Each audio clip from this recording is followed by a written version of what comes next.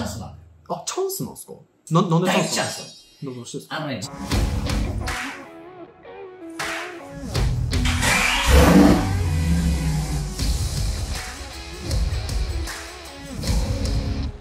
さんどうも、不動産業の小林大輔です。小林さん、はいよ。先日のニュースで、うん。中国恒大に生産命令が出たっていうニュースを見たんですけれども、うん。ね出た出たなんかどうやら中国恒大ってう結構大きい企業みたいですね。あのね、化け物みたいな気化け物なんですね。うん。それに生産命令が出ることによって、うん。なんか日本の不動産にもなんか影響出たりってするんですか、結論から言うと、これからめちゃくちゃ出る予兆になるね。あ、そうなんですね。うんある程度、その影響に備えてう、いろいろ準備をしておかないと、うんなんかこう資産形成にも影響が出たりしますまあ、結論から言うと、融資が様子見になるからさ、はここについての準備っていうのは、今からする人としない人で、大きく資産形成の明暗がはっきり分かれる。あ、そこまで変わるんですね。では今日は、うんえっと、その中国恒大の、うんまあ、今までの経緯みたいなところもちょっと改めて教えてください。OK。じゃあ今日はね、中国恒大集団の生産命令が、日本の不動産投資においてどのような影響があるか、徹底解説していきたいと思います。お願いします。はいよでは小林さん、改めまして、中国恒大集団、はい。どういう会社なのか、うんまあ、どういう遠隔を辿ってきたのかみたいなのを、ちょっと復習でお願いします。あのね、もう中国恒大集団っていうとね、もう一言で言うとね、まあ一代で財を成したデベロッパーよ。うん一台なんです一ね。台なんだわ、うんで、デベロッパーって何かっていうとさ、はい日本で言うと三菱地所とかさ、はい三井不動産とうんか、うんまあ住友不動産もそうなんだけど、うん要は街づくりをするのがデベロッパーと呼ばれる業態なのね。街づくり。そう、はい。街づくりも、うんまあ一からさ、まあいわゆる都市を計画し、その都市を設計し、実際建物を建てて、商業も呼んでさうん、人が住むっていうのを街づくりっていうんだけど、はい。これをデベロッパーと呼ぶんだよね。うん。で、この、まあ、中国版の突出した企業経営者が、うん。え設立したうん。中国のデベロッパーが、まあ、分かりやすいのは恒大集団。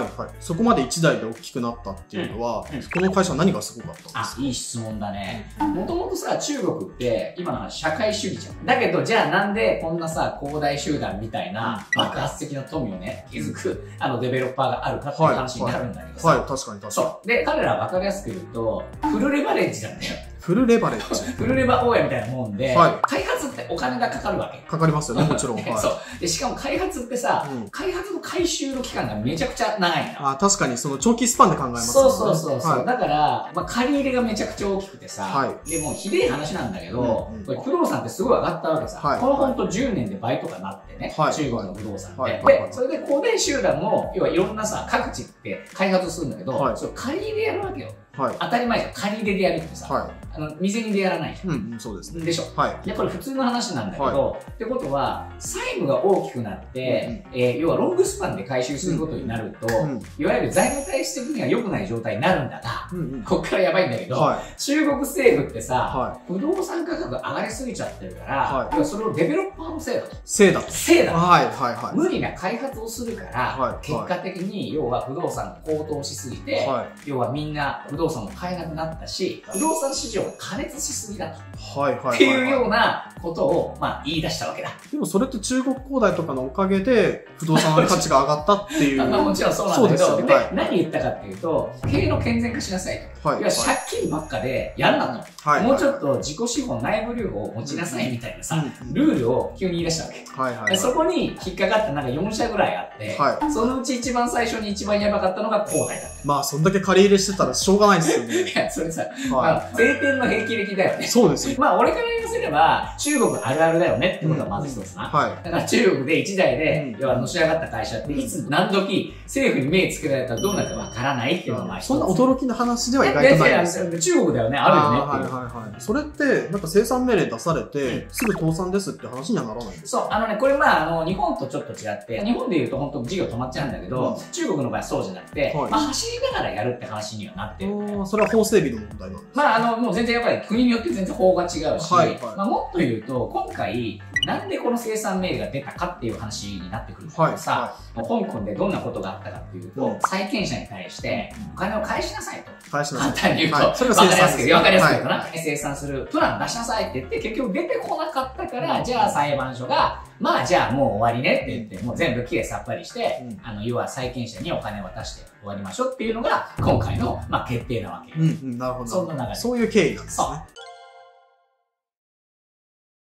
では小林さん、うん今大体まあ生産命令までの経緯は分かったかなと思うんですけれども、それによってうん日本に影響っていうのは出てきたりすいいるんですか、質問、いい質問。これって実は中国だけの話で、俺ら全く関係ないけど全然関係あって、やっぱあるんですね。めちゃくちゃあって、はいはで実はさ、このチャンネル見てくださってる皆さんって、基本的に不動産投資に興味ある方々でしょ？はい。で、不動産投資やる上で、絶対に事業をスケールしていくためには融資って必要になってくる。うん。レバレッジをかけるたそういうこと、そういうこと。はい。で、それでいくと、要は金融機関ってさ、実は当然世界情勢見ながらやっててさ、はい。世界情勢が有事になると、必ず様子を見るんだよ。ああ、それは、え、ちょっと危ないからそう。だからもう本当ちょっと、直近でいくとコロナとかでもそうなんだけどさ、はいはいコロナになった時ってさ、うん要は飲食店にさ、営業停止命令が出たりしたじゃん。はいはいってことはどういうことかっていうと、飲食店さ、営業停止になっちゃったらさ、はい収益上がらないわけまあでしょ。キャッシュ入んないですよね。だよね、はい。で、そこで金貸してくれ言われたとってさ、はいお金貸せ確ないじゃん。かに確かに。どうせ潰れちゃうやんって間違いない、間違いないじゃん。はい。でしょ？っていうようなことがあるから、これリーマンショックの時もそうだった。はい。はい必ず、この世界のいわゆる有事がある時は、一旦絶対に様子を見る。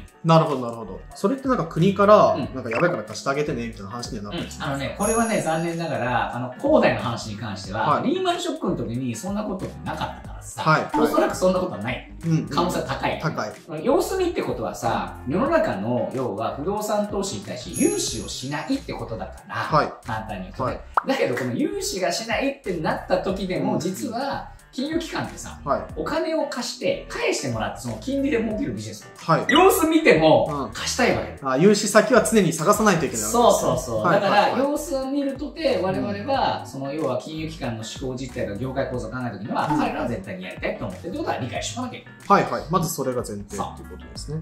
で、まあその中国の恒大集団が、うん。まあ生産命令出るっていうことで、うん。具体的にはなんかどういう影響が出てくるんですか？うん、あの、簡単に言うと、もう、要は、中国っていうのは、これ世界的に言っても、まあ、経済のさ、役割の中では、はい。もう、抜いては語れないレベルでの人口規模があるし、うんはい。世界の、いや、基軸通貨体制を、要はひっくり返そうぜって言って、うん。あの、本当にめちゃくちゃ動いてて、実際にひっくり返りそうなんだけど、はいはいそんな話があるんですか？そうだよ。俺ら、はいはい。西側諸国の報道しか受けないからさ、はいはい全然わからないんだけど、は中国の不動産セクターが風邪をひくってことだから、これって。はいはい恒大ってね、うん一つの前兆にしか過ぎないんだよ。はい。え、ここれじゃあ波及していくんですか？やべえんだよ。はいあのね、何がすごいかっていうと、さっきさ、前段で話したレギュレーションの話あるじゃん。はいはい。レギュレーション急に変えて引っかかって、一番ダメだったのは恒大って言ってるんだけど、はいこれがね、もう10社ぐらいあるんだって。あー、めちゃくちゃ引っかかってるんですね。もう10社で、要は恒大みたいに、はいフルレバレッジ大家さんみたいなことやっててはいさガンガン借り入れしまくってますで、10億借り入れがあるんだけど、え、いくらって1000万、ええみたいなさはいはいは、いそんなとこがいっぱいあってさ、はいはいで。それが10社、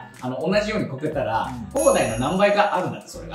えー、そんな規模なんですなんかだって。じゃあそこの不動産セクターが、要はこけると、日本でいくとさ、例えば建設機器とかな。そこでやっぱりめちゃくちゃさ、く日本のさ、あの作った工具とかさ、はいはい。機器がさ、動いてるわけ。よ。はい。はい莫大な需要があるの、もう日本の国内でさ、日本のメーカーってさ、人口のパイが少なくてしぼんでるから、うんはい。海外に出るしかない。うん。簡単に。まその中で外需に頼るしかないそうそうそう。もうその中でいち早くやっぱり中国の市を取った会社っていっぱいあるからさ、はい。でそういったところが当然、中国の不動産セクターがそれだけの規模がこけ出すとかな、は当然冷え込んでくるし、はい当然そこの連鎖的に、うんまあ、いわゆる製造基盤が日本じゃなくて向こうにあるからね、い。はあのいろんな意味で業績にインパクトがあるでい。しょ。うんっていうところでいくと、確実に収入が減る可能性が高いからな。あー、じゃあ結構深刻な影響が出るんですね。そうそう。だし、もう今の融資が止まるっていうのもそうだし、うんうんあのね、いろんな意味で混乱は、これ間違いなく避けられないから、はいもうね、大変なことになると思うよ。いや、そういうことになりますよね。大変なことにな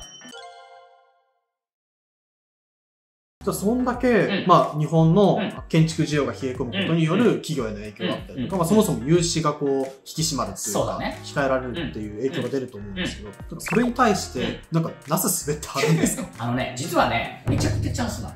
あ、チャンスなんですか？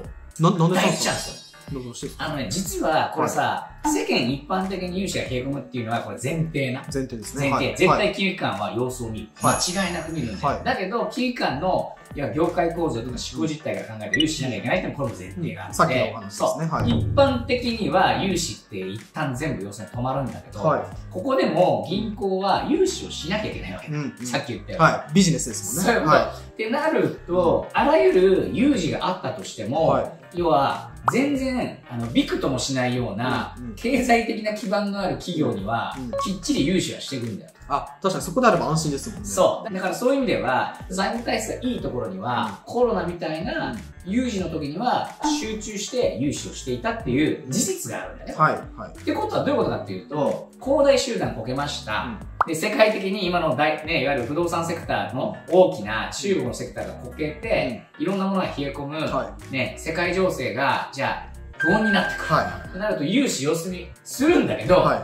同じで、要はこの人には融資したいっていう人に対しては絶対入資してくるんだよ。ああ、なるほど。ってことは、うん。融資を引っ張れる、うん。まあなんか、堅牢なものを持ってるお金持ちとかに、さらに融資が集まる。さらに、これは今、金融機関側の話なんだけど、はい。もう一方でさ、い日本の不動産の市場ってどうなってるかっていうと、はい、はい。あのね、そもそも相続税っていうシステムがある以上さ、納税対策で、要は不動産を換金しなきゃいけないもので、うん必ず市場に不動産って供給されるんだよ。はい、はい、はい。ってことは、は物件は供給されるも、だけど融資がつかない、という。ことは、買える人が少なくなる。こっち売らなきゃいけないから。はい、はい。ってはいなると、は売れる金額までどんどん下がっていくわけ。あ供給方だから、下がってくるわけですね。そう。ってことは、普段絶対出ないような、本来ね、表に出ずに、あの秒でさ、買えるとこに行ってるようなものが表に出たり。はい、はい、はい。で、逆に、通常出てるものでも、あの、大体市場に回りが、じゃあ7とか8っていうものは10になったりとかね、うん5っていうものが6.5になったりとかはい、で、はい、はい。急に割安になるのが、このうん世界の有事があったタイミングなんだよ。ああ、なるほど。じゃあ、買う側からすると、そう割と条件が良くなってくる。あのね、めちゃくちゃ良くなるから、はいだからこの世界の有事に対していかにうん。その融資を引ける準備をしておくかっていうのが、富を築くためのはい。非常に大事なポイントになってくっていうことですね。この準備っていうのは、まあ、機動的資金というか、キャッシュを急いで貯めろっていうまあ、話。貯める、まあ、いろいろやり方あるんだよ。はいだってさ、あの、このチャンネル見てくださってる方って、はいこれからやりたい人もいれば、すでにやってる人もいるじゃん。はい、はい。ってことはどういうことかっていうと、う複数と保有してたらさ、はい換金して軍資金準備するっていうのもあるわけ。ああ、確かに換金してそ、割安物件買えるっていうそう、の準備。話にもなりだって、だってもうさ、恒大集団こけるって今ニュースで出てるじゃん。はい、は でしょ？い。はい。中国政府のおかげで。はい、はい、はい。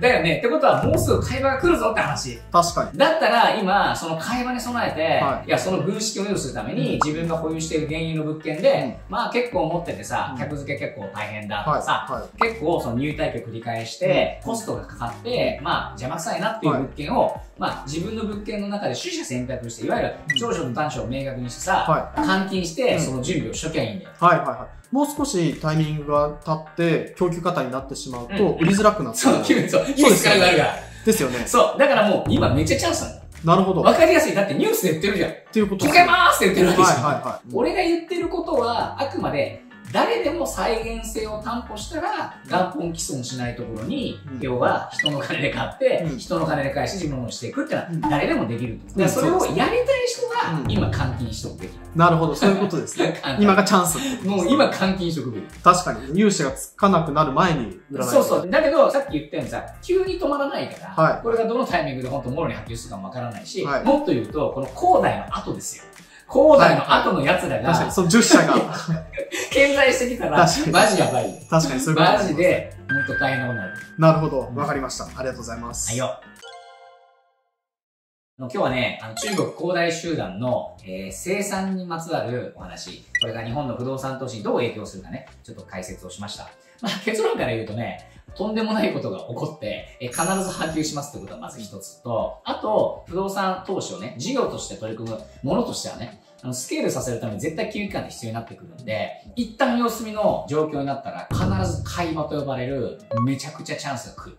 この予兆をきっちりチャンスをし捉えて準備をする人が莫大な財を築くから、うんぜひね、皆さん、今、現有の物件、もし持ってらしたら、本当に換金できるかどうかとかさ、うんぜひ、あの、そこについて準備していただいたら結構ですし、逆に、まだ持ってない方もね、僕が今言ってることっていうことが、あの、本当かどうかっていうのは、本当にね、ニュース見てたらわかるから。はい。あと市場見てたら分かる。あ急に安くなったって本当分かるから、ぜひね、あの、この市場ね、あの、恒大集団の動き、注視していただいて、自身の、えー資産形成にね、つなげていただいたらいいと思います。わかりました。ありがとうございます。はいよ今回も動画を見ていただきありがとうございました。このチャンネルでは不動産投資で損しないための情報を今まで培ってきた経営ノウハウを織り交ぜながら体系的に発信していきます。チャンネル登録、高評価、コメントしてくれると嬉しいです。次回の動画でお会いいたしましょう。またなー小林さんって中国に旅行行ったことってありますか？おー、ちょいちょいちょいちょい。どの辺ですか？いろいろあるよ。あのね、それこそ旅行っていうか、結構視察で行ってて、はい。一番思い出深かったのは、はい。中国にある会社でさ、はい。これ10年来の俺の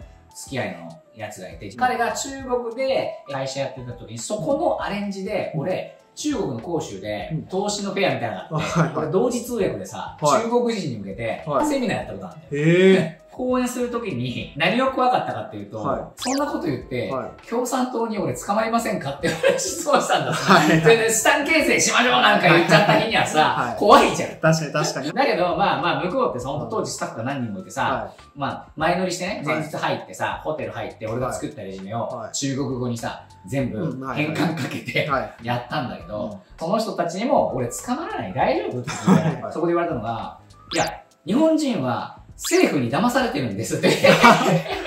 あ、なたたちじゃなくて、みたいなさ、ちょうどさ、空母を建造したとかって時だったのその時はいはいはいえー、え、じゃあ、あの、海洋派遣を握ろうとしていることは何？え、コウさんはどう感じてるの？みたいな。はいいや、あれは国を守るためです、小林さん。みたいなね。あー、日本人はなんです政府から騙されてるんですって。そんな感じでね。さ、はいはいはい。びっくりした。えー、それびっくりっすね。で、面白い、はいだけど面白かったのが、働いてる女の子って、はいお父さん何やってんの？いや、麻雀ばっかやってます。え、どういうこと？みたいなさ。要は不動産デザイナーして、はいもう人生上がっちゃってるとかさ、あー結構人生上がっちゃってて、うん新日でそういう日系の企業働いてるっていう子が多かったから。まあ、あの、面白かったよね。それ面白いですね。おだから中国の思い出っていうのは、まあ、それが一番深いかな。ああ、なるほど。わかりました。ありがとうございます。はいよ。